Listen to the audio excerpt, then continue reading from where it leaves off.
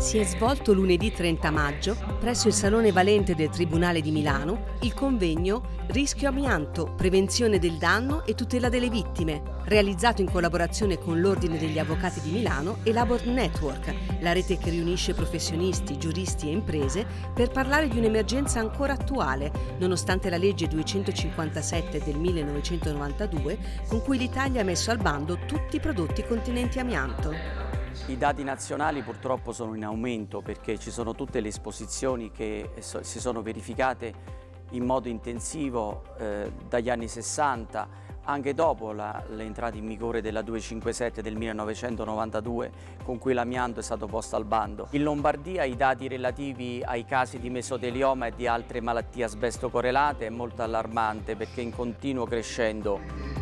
Milano è stata storicamente la locomotiva economica del paese, l'industria pesante, grande, le grandi attività produttive si concentravano proprio su Milano. E dato l'oggettivo storico eh,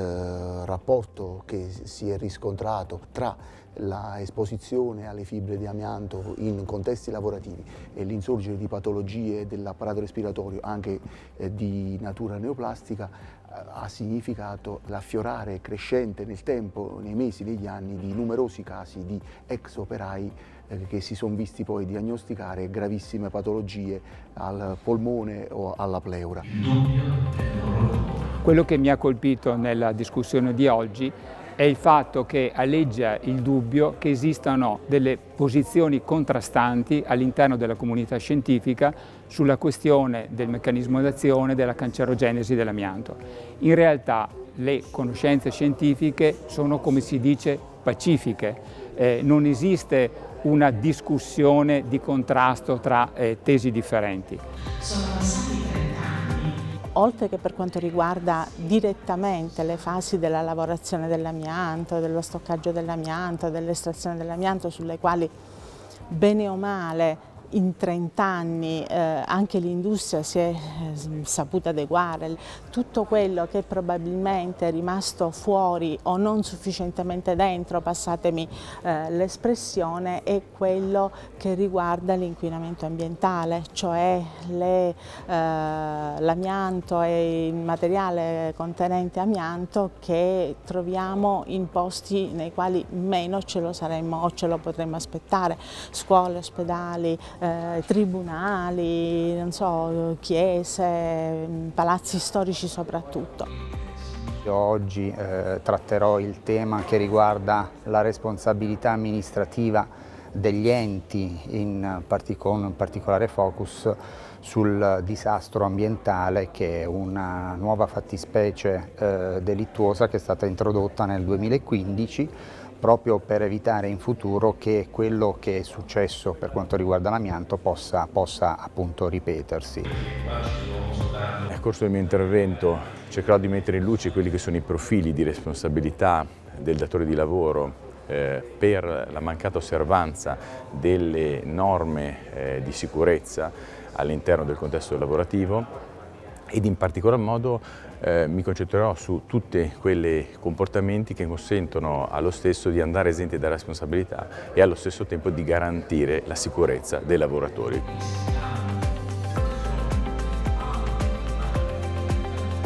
Il tema eh, su cui sono stato oggi coinvolto era l'illustrazione appunto di queste eh, agevolazioni probatorie che noi oggi consentiamo ai lavoratori interessati, nel senso che è il datore di lavoro a dover dimostrare, offrendo prova contraria, ad aver adottato misure adeguate per prevenire questo ambiente. Oggi partecipare a iniziative come queste è fondamentale perché sono di carattere informativo e formativo per i professionisti e per la cittadinanza. È un tema che va tenuto vivo attraverso l'attenzione dei professionisti e l'attenzione di chi eh, può dare indicazioni precise su come comportarsi e come affrontare questi problemi. Tra il pubblico c'era anche Roberto Marchitto, che insieme a sua madre e suo fratello è stato esposto per anni all'amianto presente nella loro abitazione milanese. La bonifica è avvenuta con noi all'interno dell'appartamento. Ci hanno avvisato eh, semplicemente di dire tirate giù le tapparelle e basta, semplicemente tutto qua. La bonifica è stata eh, terminata in malo modo, nascosti letteralmente parti di, di, di, di, amianto nel sottotetto, un po' dappertutto. Dopo circa eh, 14 anni mia mamma effettua una visita casuale per eh, un preintervento di una spalla e le trovano comunque liquido nei polmoni. Mesotelioma pleurico, quindi esposizione dell'amianto. Dopo la, la morte di mia mamma, il Comune di Milano, Aler o quant'altro si sono attivate per fare la bonifica,